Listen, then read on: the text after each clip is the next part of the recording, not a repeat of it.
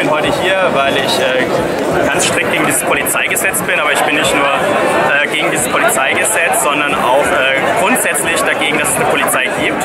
Dafür kämpfen wir als FAU. Ähm, und es ist natürlich auch bezeichnend, dass die CSU jetzt glaubt, mit dem Rechtsruck in diesem Land, mit der AfD, ein so äh, massives Gesetz durchzubringen zu wollen. Und ich hoffe, dass da dieses breite Bündnis heute ein starkes Signal dagegen gibt.